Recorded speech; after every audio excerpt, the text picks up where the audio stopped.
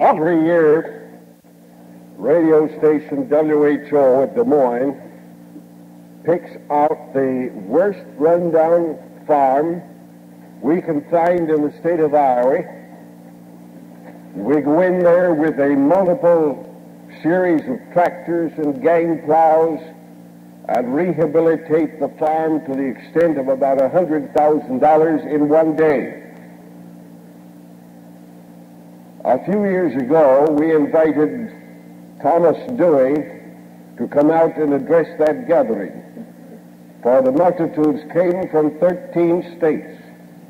We had 130,000 people there. We parked uh, 30,000 cars and 150 planes. Thomas Dewey said, Iowa is Republican. It always has been Republican, and why should we waste any good Republican money in a good Republican state? So he turned us down. We invited Harry Truman to come, me and Harry. Harry accepted. The result was that we had this big crowd. We were eating lunch in the tent, and it was hot as it can be hot in Iowa. And out of respect for the President of the United States, everybody was wearing a coat. And I said to Mr. Truman, who sat right opposite to me in this narrow table, I said, Mr. President, any man that wears a coat here has a dirty shirt.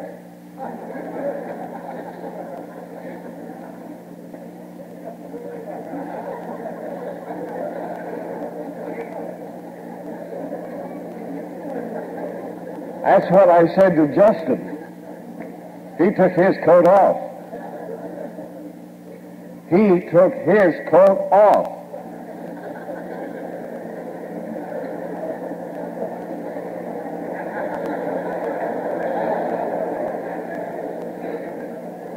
And that goes for the women, too. You know, we, a few years ago, we made a trip down to the Southern Islands, and we saw fit to write a book, which was issued last September by Rand McNally in Chicago, entitled Upside Down and Right Side Up with B.J. Because when you're below the equator, you're upside down. And when you're upside down below the equator, you're right side up. It also wrote up the story, the best story that was ever written on the lost cities of Angkor Thom in old Cambodia. The book is 1,048 pages with 530 pictures. It was issued last September. The book cost us $16,000. It is not yet entirely paid for. Now, I would like everyone who will tomorrow purchase a copy of that book, please stand.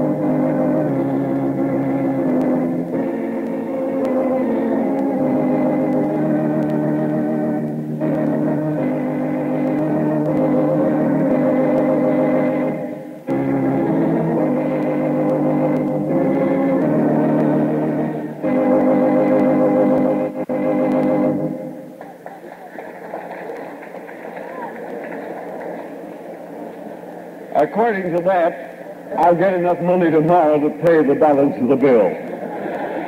We thank you. In 1895, an incident of worldwide historical human value took place. Harvey Lillard became dead. He was in a stoop cramped position when he heard something pop in his neck. He was deaf for 18 years. In his neck was a large visible bump. Fortunately, it could be seen. Otherwise, it might have gone unnoticed. D.D. Palmer said, if the production of that bump produced deafness, reduction of that bump should restore hearing. Fortunately, that bump was reduced, and fortunately, hearing was restored.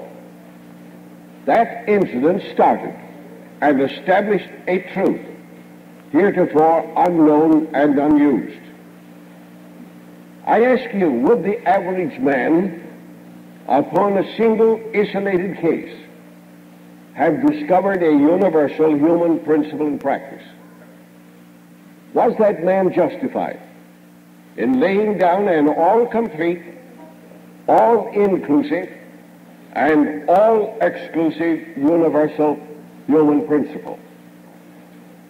58 years has justified that conclusion. Chiropractic is based upon the fixed, uh, facts of physics that matter cannot move without force or energy. That human matter is in motion as human energy gets to that matter. That human matter moves in speed in exact ratio as the quantity of human energy predetermines as delivered to that human matter. More mind in more matter equals more motion. Now matter moves as it's moved upon by energy. Moving composite beings are alive. Inanimate composite beings are dead. To move is to live. Motion is life. To not move is to be dead, and no motion is death.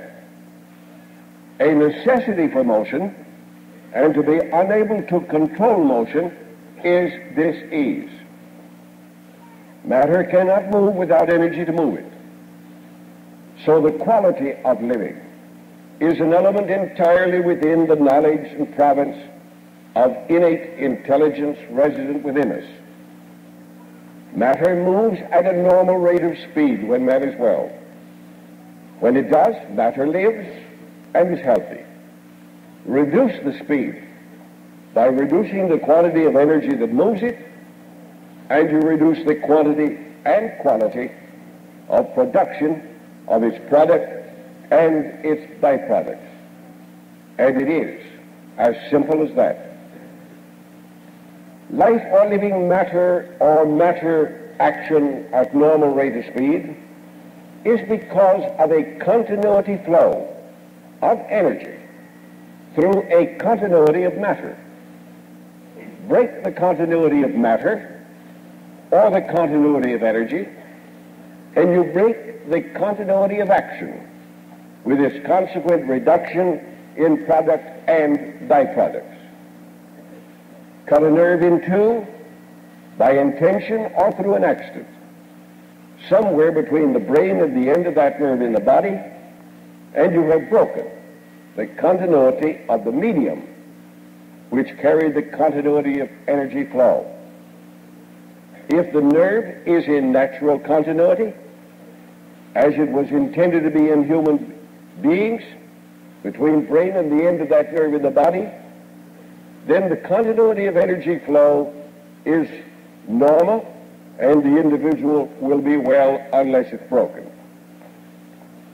The constant which comprises the scientific fundamental upon which chiropractic rests is an accident of some kind, one of many kinds, introduces the external concussion of force which, when it meets resistance with the body it contacts, produces a concussion of forces, one invasionary, the other resisting, which, because of the clash and concussion of forces betwixt and between, being the vertebral column, subluxates a vertebra of the spinal column, which in turn produces an occlusion of the pressure and an interference to flow and creates dis-ease. The chiropractic practice is to locate the exact vertebral subluxation and ascertain its precise abnormal position, then by hand only efficiently give it an adjustment to correct its malposition, which opens the occlusion, releases the pressure, restores the transmission, and given time produces health. And it is as simple as that.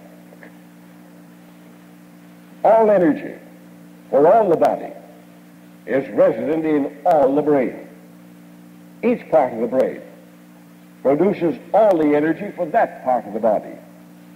Cut off or reduce that normal quantity of brain energy from going to some part of the body, and it reduces its tissue speed, reducing its working product or byproducts, and the individual becomes sick. And if entirely cut off, would be dead. The brain is the life source the spinal nerves and spinal cord merely convey or transmit that life force to all parts of the body. The human brain is a human dynamo. The human body is a series of human motors. The human nervous system is a series of transmitters of human energy, both efferent and afferent, completing circuits generating, conveying, and acting human electricity. Each nerve circuit, brain to body and body back to brain, is independent in brain production, nerve transmission, and tissue cell speed of action, yet simultaneously dependent from all others as all others are dependent upon it. But this human innate mind is a great intellectual director, regulator, or controller of human energy. For mind is a thought force. If the brain generates the thought force, the nerves convey thought energy, the body expresses that mental function, the body will be healthy in all parts. If the normal quantity of mental impulses get through from brain to all parts of the body. So you see how easy and simple the whole problem is. A vertebral subluxation can be aptly compared to a dam. The vertebral subluxation squeezes the opening through which nerves pass. The reduced size of this opening produces a pinching or pressure upon nerves. Build a dam across a river, and you produce a similar condition. The dam backs up water behind the dam. This keeps water from going through and getting below the dam.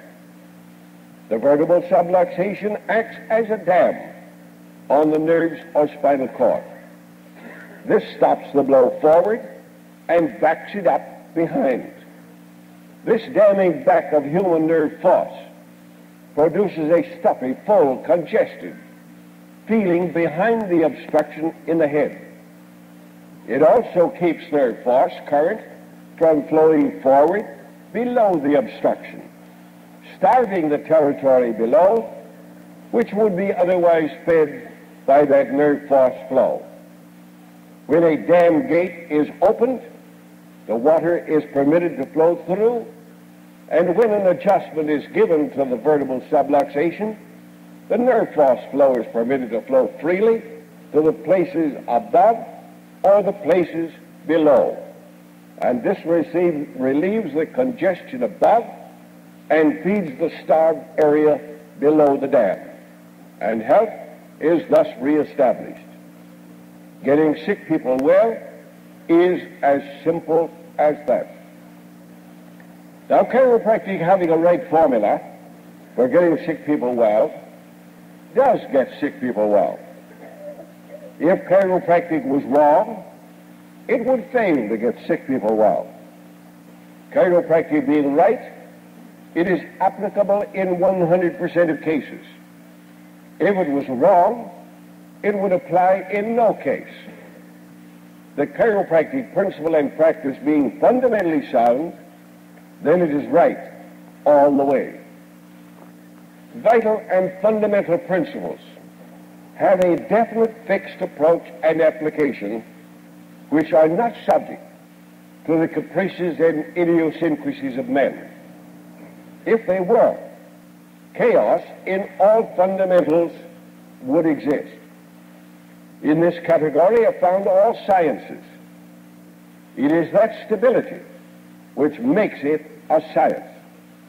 Well, this regulatory factor is not a matter of individual opinion in which one may make it six and another make it eight. It is always flawed, no matter who, why, where, or how. It is this fixed rule of mathematics which makes it a science. Chemistry and astronomy are two more having fixed principles and practices. It is that ability to agree on fundamentals that makes scientists. It is that inability to agree on fundamentals that draws the sharp line between scientists and theorists, realists and sophists.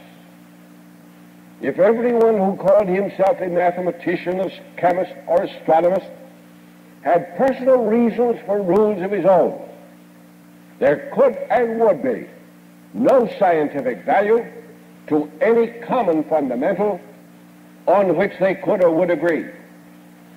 Sciences are based on fixed formulae. The only reason they are is because they work. Chiropractic has a scientific fixed success formula that works when it's worked. I recall some years ago, we were coming from the South Pacific Islands. We stopped at the Tin Can Islands uh, of Lian Phu because that was the one place in the world where there was an eclipse of the sun that day. And all the astronomers of the world had gathered in Lian Phu to photograph that eclipse of the sun. Coming home on the boat were many astronomers. And I said to the astronomer from the Department of Astronomy of the University of West Virginia, one night we were sitting out on the deck, I said, Professor, tell me, how near did your various astronomers that was gathered from all the world, Siberia, Russia, Norway, Sweden, uh, Denmark, Belgium, France, Germany, South Africa, New Zealand, Australia, Japan, China, how near did you agree as to when that eclipse would begin and when it would end? He said, we all agreed to the second, both coming and going, with the exception of one man. Well, I said, how much was he off? He was off one half a second. That's what makes astronomy a science. It is this ability to lay aside the differences of views, agree on fundamentals, hold the differences of opinions on everything else, which enables scientists to find factual data and then agree.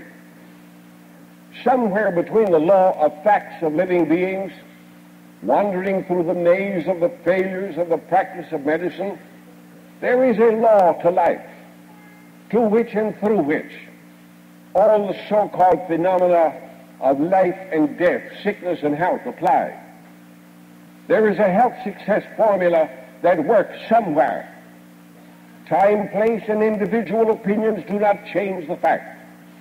They only mislead one in searching for the right formula. When that chiropractic success formula is used, medical mysteries disappear and common sense will be understood. instead of the very fertile sick field being under intensive health cultivation, producing bumper crops of healthy people, there exists a medical jungle of undergrowth of weeds, impenetrable and impassable, with many sowing wild weeds to make it worse. Each science has its law, for which no man who professes to be an advocate and a follower can escape.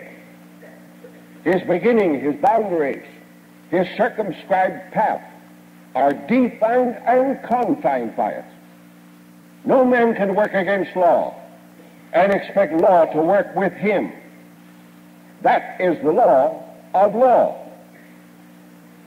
Where is the medical man who, with all his medical education, could artificially make and direct the function of one tissue cell? Yet the innate intelligence, living, directing, and regulating all the tissue cells and functions in the mother, builds entire baby bodies. That is the wisdom. The chiropractor prefers to permit to get sick people well. This reasoning is equally true in man. His conception, gestation, development, birth, life, death, health, sickness, and restoration back to health. It was and is governed by law.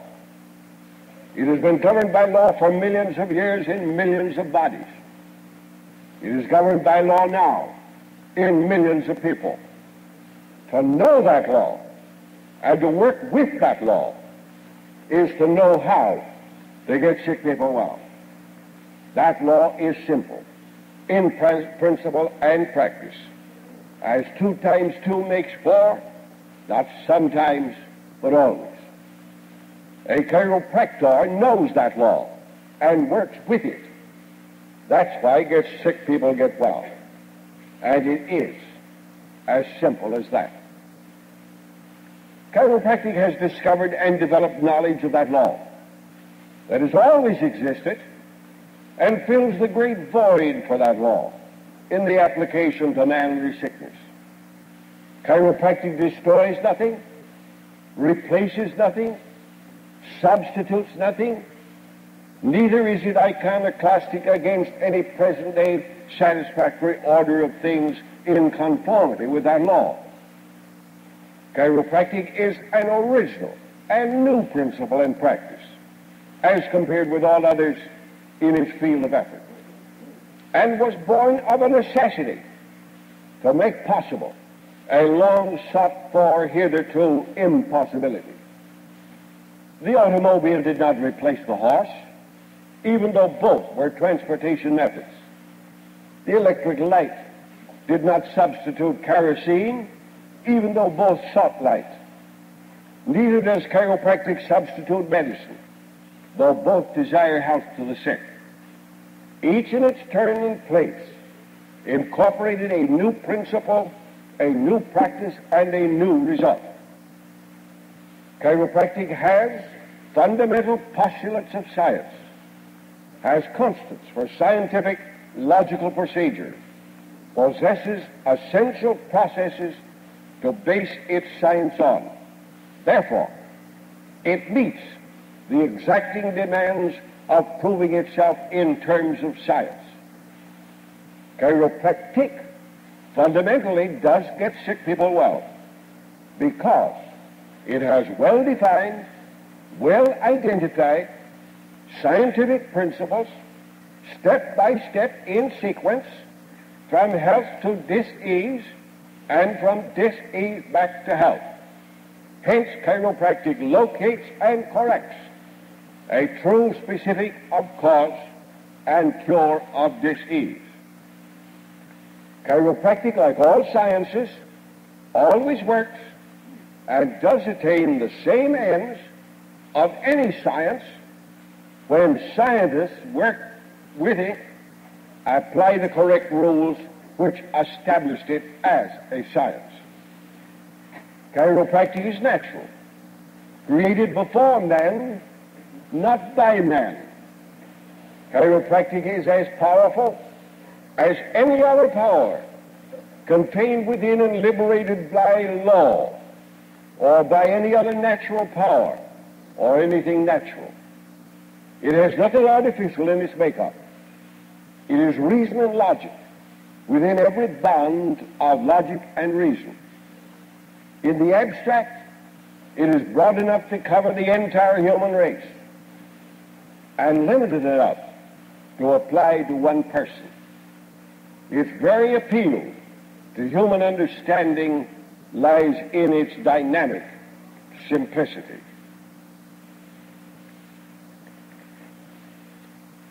Medicine to the average individual is a mysterious principle in practice. It too can be reduced to a simple formula. Weaving through the multiplicity of diagnostic names and prescriptions, it boils down to two diseases. Too rapid action for one type, too slow action for the other. And then that's why you find so many hyper and hypo prefixes to their names, for which it has two kinds of drug treatments to inhibit the stimulation, to stimulate the inhibition. In other words, hypo the hyper and hyper the hypo. Two general kinds of drugs to treat two general kinds of diseases. A good example that comes to comes readily is the heart and its action. If it beats approximately 72 times a minute, we have normal pumping action and the heart health exists. If it beats 85 times a minute, it is not pumping too fast, and the heart disease, diagnosed as tachycardia, exists.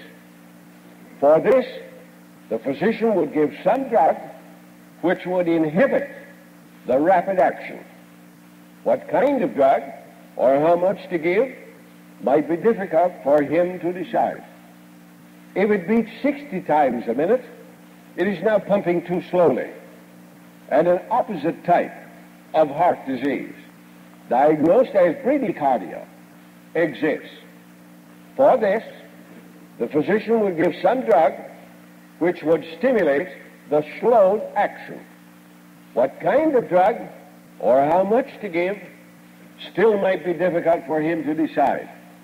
So he tries this or that until he thinks he knows.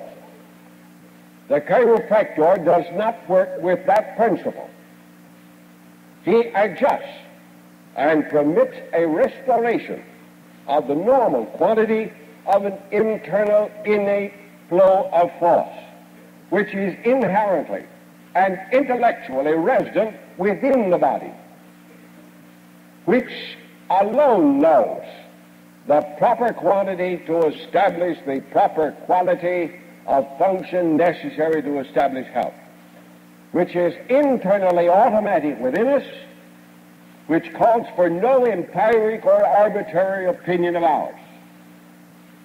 And it is as simple as that. Physicians have a medical concept that the body lives within itself when it's healthy. But when sick, it needs some external agency to give it health. So they prescribe chemicals, antis, and other neutralizing agencies under stimulative or inhibitive or neutralizing processes to make it well. They work on the principle of asserting they know what the unbalance is. Then by stimulation or inhibition, force it either up or down, arbitrarily and empirically, to a standard which they think they know. If it goes too high, they bring it down. If it goes too low, they force it up. The chiropractor does not know that normal power.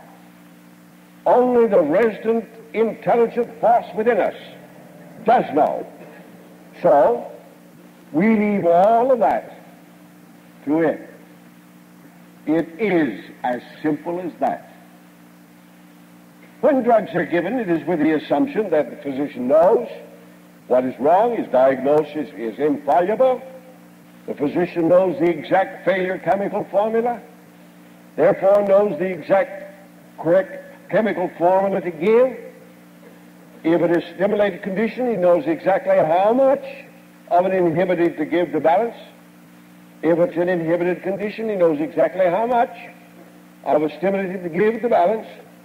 He knows what the balance is, or should be, without possibility of error.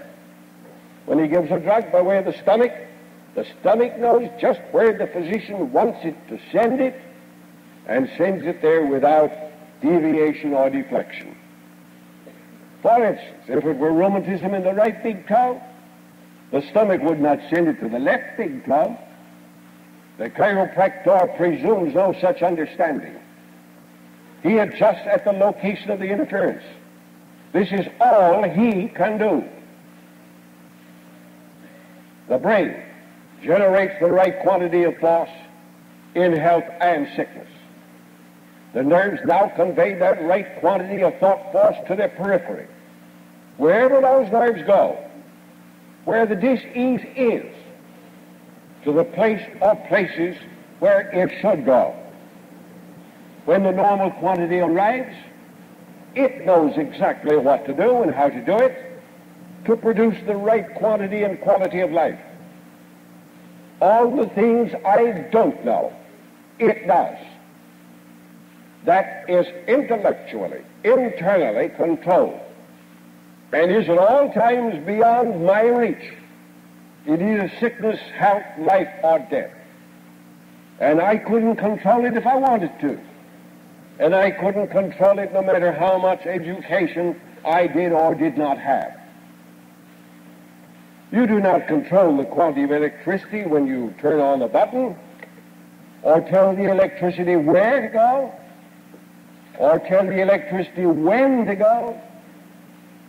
Neither do you stimulate or inhibit the wires or globe or their excess or minus quantities. It goes when you turn on the button. When it arrives, it gives light. Some men doubt and even deny the existence of a vital life force. And then they run into trouble. So you see how simple it is. Now, people have been taught that germs cause disease. That isn't true. You can vaccinate an entire community and make them sick to keep one person that is sick from getting well. Simple, isn't it? The cause of disease is not a communistic thing. And I don't mean that in the political sense. This idea that the community makes a person sick, or we've got to do something to the community to get the one sick person well, is wrong. The cause of disease is not in the community. The cure of disease is not in the community. The cause is individualistic and the cure is individualistic within the individual. So you see how simple it is? After all, no government can long survive when the individual and his responsibility are ignored and all his responsibility shed upon the community. No government arrives anywhere until the individual has been taught to assume his responsibility. After which, the community action is automatic, wherein the many are made up out of the one. All experience that survives in the cause and cure of disease is based upon a knowledge that the cause and cure of disease is within the individual. And this is not a responsibility that he can shed upon his neighbor and blame him for it. But any health method ignores the individual in its equation and casts that blame upon the community. He professes his ignorance of the cause and cure of disease as it exists in the individual, and thus proves his incompetence to be of service to an individual, except as he tries to reach him through community welfare. The cause of smallpox is in the individual, not the community. The cure of smallpox lies in the individual, not in wholesale vaccination of the community. Physicians admit that some people are immune, others are fertile culture grounds. Some resist better than others. Those who resist are stronger and are more able to cast off. And you ask any physician, why of a thousand people, five are down with smallpox? You say the 995 are able to resist the invasion. What makes resistance? It's that internal power that flows from within that builds up the resistance to the invasion of anything. Then why blame the community and vaccinate them all? An individual with a subluxation will resist less, and one without will resist more. Resistance from within is fundamental. With it we resist, and without it we invite invasion. All schools of health are agreed upon this principle as sound. Germs exist. We don't deny their presence. We deny them as a cause of disease.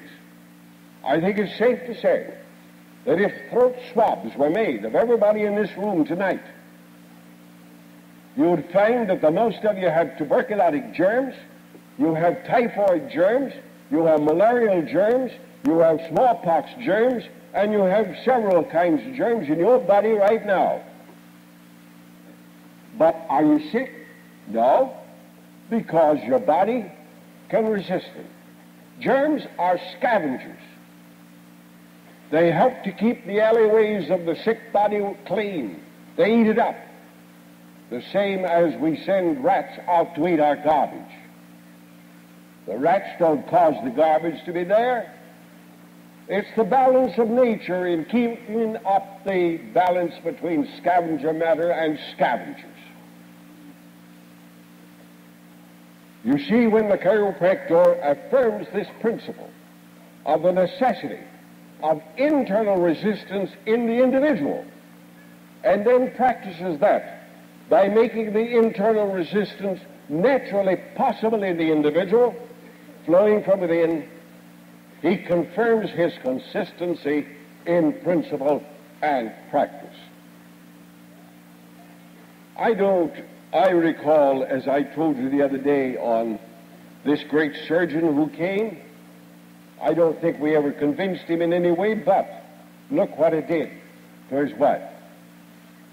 Now, as a practical observer, watching the efforts of medical men, this brought, brings back to my mind, just flashes through. Some years ago, I was to lecture in Portland, Oregon.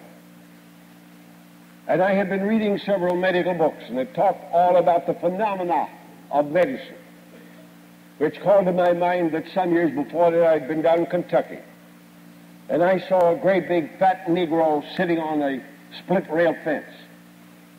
And I said, Sam, it seems to me that with this fertile soil you have here, you ought to raise a good crop. He said, yeah? And I said, it seems to me with this sun beating down, you ought to raise a fine crop.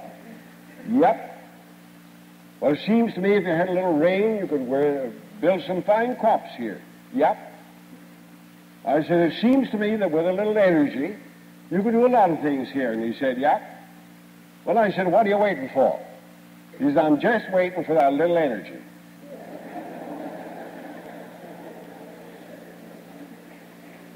so some years ago, as I say, I was reading some books on this phenomena thing.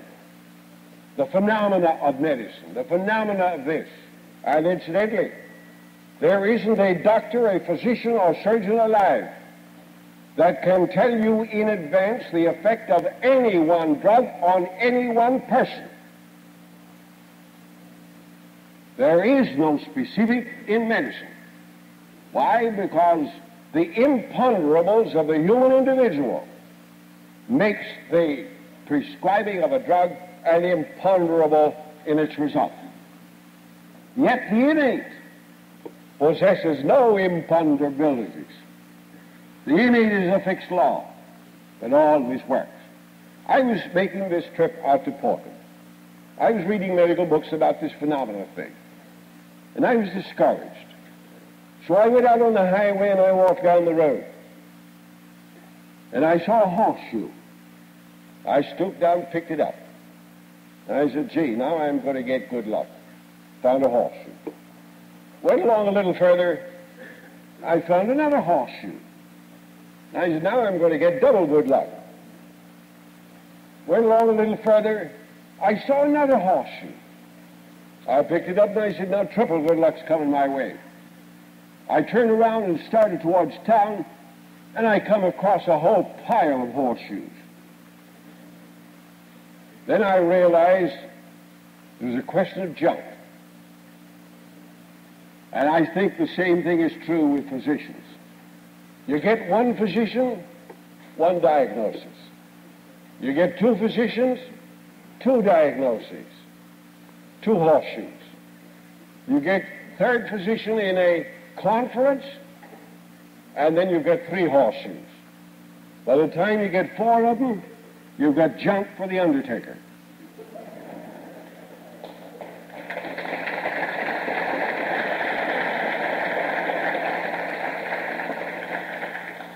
The medical profession seek, aim, and to destroy what they think are human life destroyers. They're supposed to lurk like murderers in every dark crevice and crack and corner in your body, in the air, the wood, the water, the food, even inside the man. And so they fluoridate the water to kill the germs to keep you well, when health comes from within. That's why we have well water here. Every, everywhere, everywhere are multitudinous microbes. Some so small that even an electron microscope, magnifying a hundred thousand times, can't find them. These natural products, as natural as man himself, conceived and created by innate designed by innate to fill all natural functions, are exhibited by man alone as horrible examples of mistakes of innate. I wonder how those people figure out that God actually made the world. Now you see, he made all these devils to decimate man. And yet he's been doing a pretty good job of it for millions of years. I don't see how they can confuse the two ideas. I couldn't, and I don't see how they can in this endless struggle. Now, the ordinary sick person starts out as an acute case. Yesterday he had next. Uh, today he's got a little fever. Mother gets a little anxious and worries, and so she calls the doctor. The doctor said, I don't know what to call this yet because I'll have to wait until it develops. So he hangs around for four or five days, and the temperature keeps going up, gets up to 102.6. He said, I don't know quite yet. We'll wait and see if there's a breaking out. Then it breaks out, and now he said we have an eruptive fever. We uh, think that it may be varioloid, it might be scarlet fever, it might be measles. We'll wait a few days. Meanwhile, you just give the child this and this and this. And eventually, someday, the case goes from the acute stage into the chronic stage. Maybe they're deaf. Maybe they're crippled. Maybe they're this, that, and the other thing. I recall, I think I told the pre-lyceum class last year that at one time, we had quite a number of polio cases in our student clinic. And the health officer of the city of Davenport came up and he said, Now, BJ, you've got to report all these because we passed an ordinance that you've got to report these cases so we can quarantine them. And I said, John, tell me, John Mullen was his name. I said, John, tell me, what are the symptoms or the pathologies of polio? Well, he said, we don't know. That's why we're quarantining them so we can find out.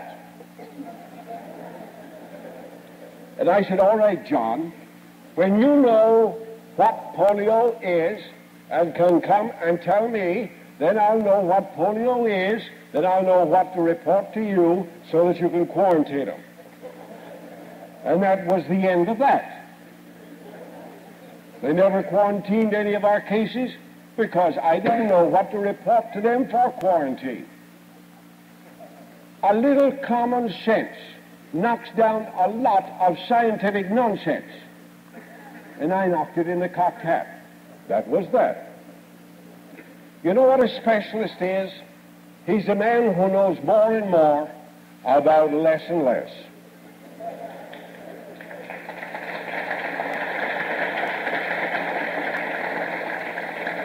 He spends a lifetime on the eye, the ear, the nose, the throat, the heart, the stomach, or what have you.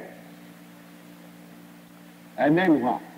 He's forgotten that the eye, the ear, the nose, the throat, the heart, or the stomach is a part of the rest of the body. So he becomes a specialist on that one thing. After all, innate is on top of all parts of that body and knows that no one part can live unto itself. They've got to coordinate themselves, and innate knows how to coordinate them. So you see, after all, it's just as simple as that. Now the chiropractor changes this whole picture.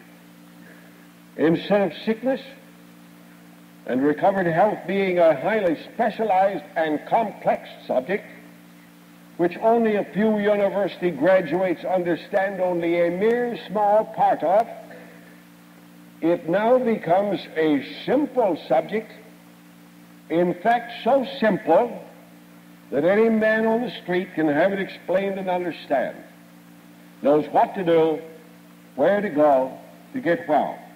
It is so simple that the students of this school can't understand it.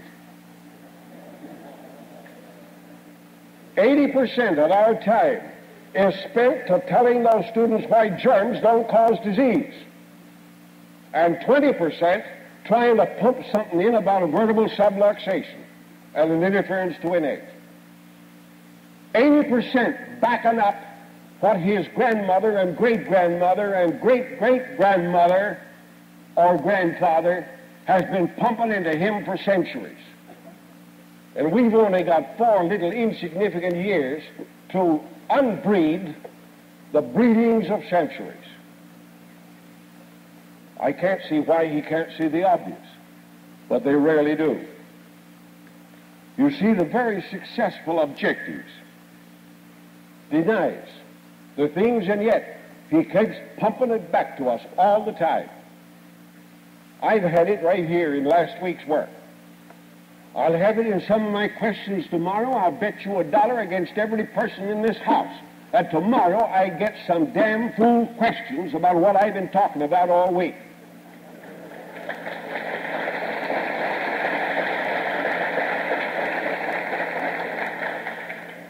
But just remember that the transition from the old order of things to the new order of things is a question of growth. And growth is a question of time.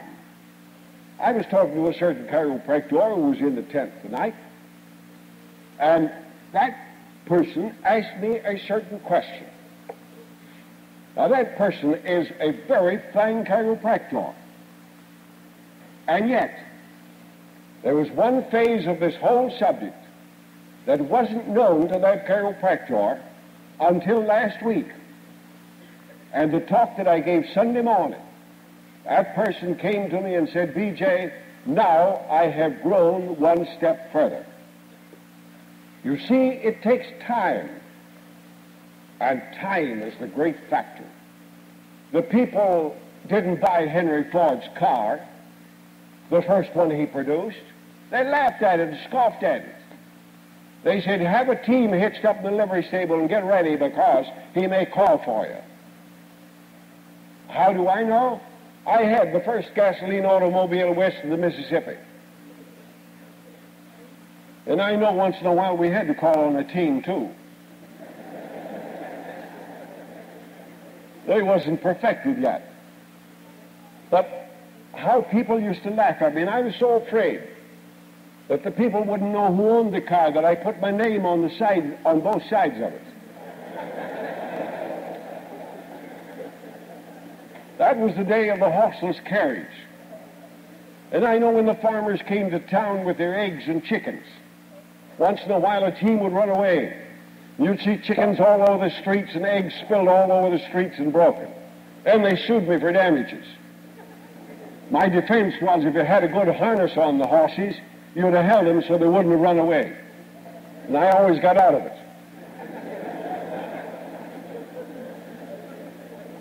So I know what it means to be a pioneer.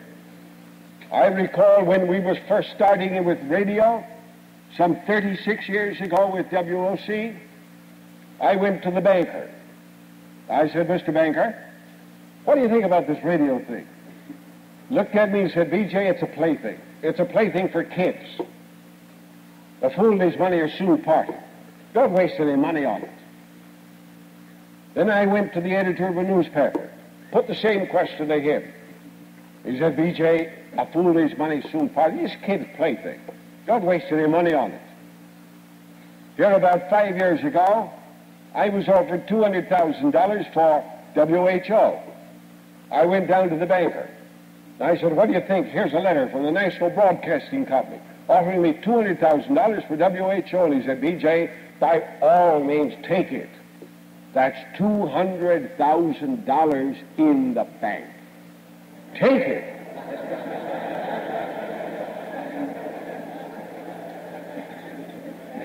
Less than one year later, I had a, another letter from the National Broadcasting Company asking me to sell at the beginning price of two million.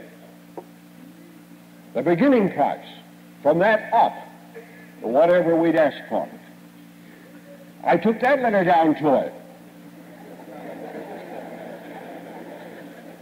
He put his hands up, sort of shading and hiding his nose, and he said, Well, we can all make mistakes. I know what it means to be a pioneer, and I know how people laugh at us. But somehow it didn't stop me. 36 years ago, I laid down this principle. This is a community station, owned by the community for community service.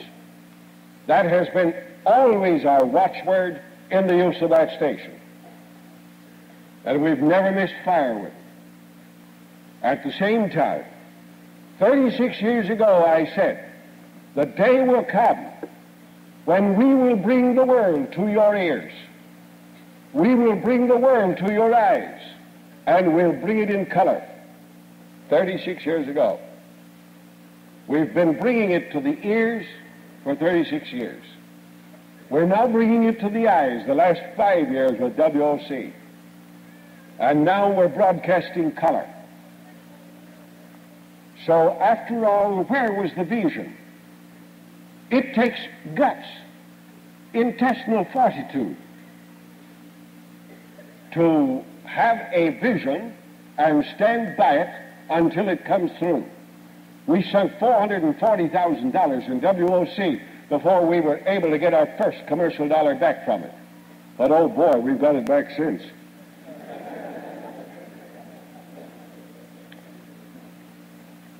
The chiropractic principle is simple. The practice is simple. The results for the sick are simple.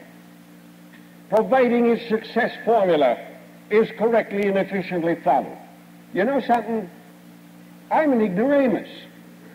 I suddenly was quituated from the high school the first half of the first year. Will Logie that run a chain of drug stores and Will Hickey that runs a chain of cigar stores and myself, we took some live rats to school in cigar boxes. In the study room where there was about 400 students, about half of them girls. And we turned them loose, the rats. And the girls jumped up on the desk and pulled their skirts out. Well, that's why we did it.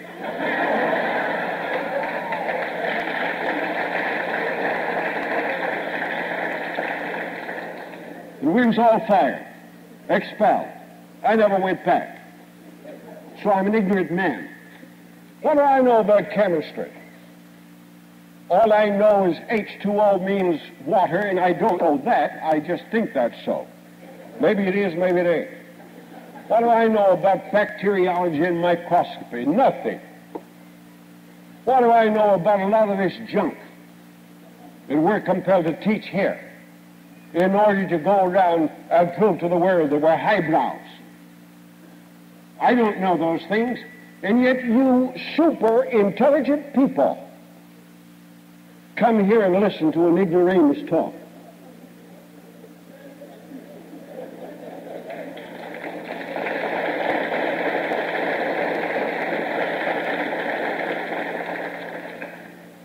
All I know is there's a subluxation that makes sick people well, and I know how to correct it.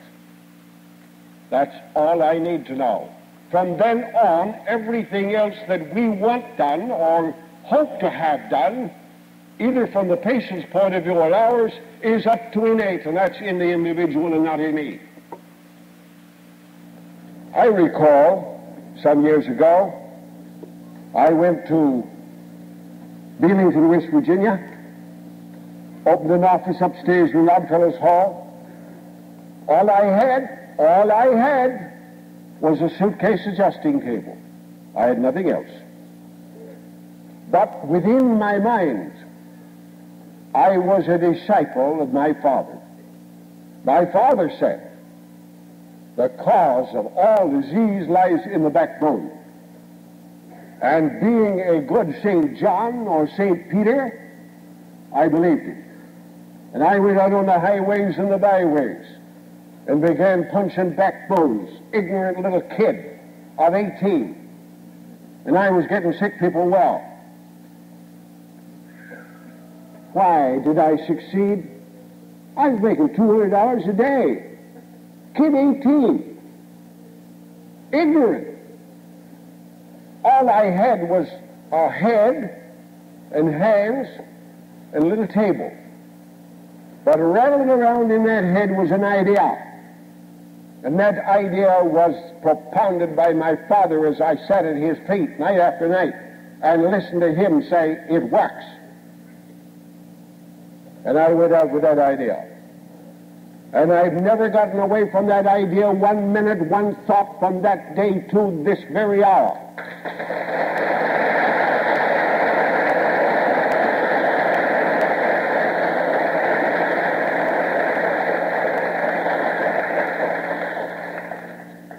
I was talking to some great educator the other day. He was lauding my achievements, and I took it all modestly. But at the same time, I was thinking what a fool he was. And he said, BJ, there's one thing I admire you for. And I said, what's that? Your consistency down through the years. The consistency, insistency, and persistency. And after all, when you've got that inner deep conviction that you know it works, when you know it works, there's nothing to take it away from you. I recall when I was down in Florida last winter, Herb Hender came down and Shorty spent a few days or a week or two with me. And we was talking one night as cronies will, professional talk. Herb asked this question. He said, BJ, have you ever known anybody who ever got the big idea that has ever forsaken it or denied it? And I got to thinking, there's Mary Jane Gast, there's Tina Martley, there's Dr. this and Dr. that. I went over the list as they flashed to my mind. And I said, no, Herb, I've never known one that got the idea that ever forsook it or denied it. And that is true. It's only the people that don't get the bigness of the simplicity of this simple principle in practice that forsake it and deny it. I've often think, thought since I was over in the Palestine, the Holy Land, here was a simple man bringing forth a tremendous principle the fatherhood of God and the brotherhood of man. That's what it amounts to when you boil it down to its essence. And he was going around preaching the fatherhood of God and the brotherhood of man. And he didn't make any discrimination between white man and black man, yellow man or red man, Jew or Gentile, Mohammedan or Buddhist. The principle he laid down was big enough for all the world, for all time to come. And then where did he pick up his uh, disciples? Simple little fishermen from the Sea of Galilee. Simple men. He went around preaching that gospel. And he wasn't understood by very many people. But time, time, time has grown the understanding of that simple principle. The strength of the Christian principle is in its simplicity, not in its complexity. If we could just get that principle over. Now, let me see if I can give you an idea. I'm going to take a trip into a chiropractor's office. The patient comes in that's sick. First thing he does is take this little bottle. And then let me take your pulse beat and let me do this, that, and the other thing. Give me some sputum. I want to take some of the earwax out of your ears. And he goes through a long rigmarole. And then eventually he diagnoses. And then he says to the person, Now I can't do anything for you for uh, at least two or three weeks.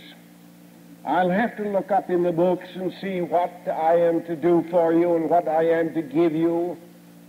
And he complexes the thing fearfully. He said, I'll have to look up and see what my anatomy says about this muscle and that muscle. I'll have to see whether this nerve or that nerve's involved. I'll have to see uh, uh, whether this organ or that organ's involved. I'll have to see whether it's this viscera or that one, this system or that system and that will take me at least three weeks to go back over the armamentarium that was pumped into me in the chiropractic school. Come back now in three weeks. And so he exhibits a marvelous intellectuality of complexity. Now, does he? No. If all of you did that, you wouldn't have any business. On the reverse, here's what you do, and you know you do it. Doggone you. A patient comes in. Something's wrong. You don't know what it is, you don't know where it is, and you don't care where it is or what it is. But you do know there's a vertebral subluxation. You take him in, you get a spinograph. You want to know where the interference is. Use a neurocloud or neurocalograph, chirometer. You'll find where the interference is. Then you say, lay down here, biff bang, back for you. The patient gets up. Is that all? That's all that I can do. Innate will do all the rest. Now, what about all your bacteriology and your chemistry and all this other junk? Do you use it? You know you don't. And I know you don't. You're not kidding me one minute. I know that the moment you pass your basic science board, and the moment you pass your chiropractic state board, out in the alley with the junk.